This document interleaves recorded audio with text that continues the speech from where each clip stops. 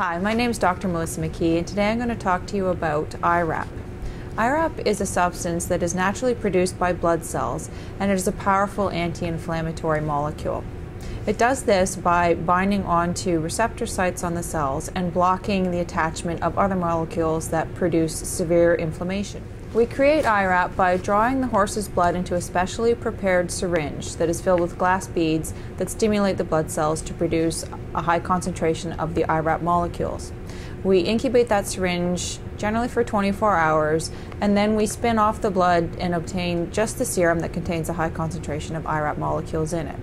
This we separate into separate syringes for individual joint injection purposes.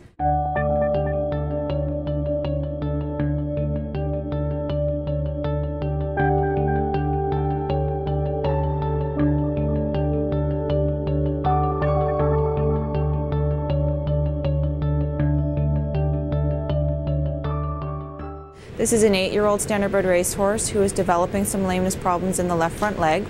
Through various diagnostic techniques, we determined that he has some arthritic changes or degenerative joint disease in his left front fetlock.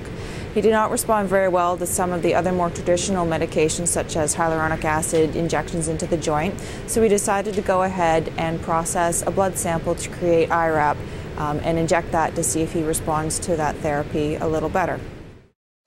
So here we have a joint that we've performed a sterile preparation and scrub on and I'm wearing sterile gloves.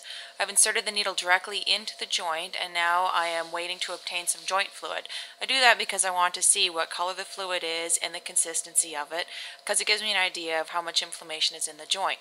Ideally joint fluid should be like clear corn syrup, nice and thick and very stringy. In this case, fortunately, it doesn't look too bad. So we draw off a little bit of joint fluid and then we inject a fairly large volume of the IRAP. Usually in a fetlock joint we can get about 3 or 4 cc's in quite comfortably. So that was the routine procedure for injecting IRAP into a horse's joint. While we usually get 5 to 7 injections out of one serum collection, we obviously don't need to use them all at once. The good news is we can freeze the leftover injections for future use. If a horse has a severe problem and is going to need some rest, our preference is to use one shot in the joint per week for four weeks, and then we bank the remainder for future use.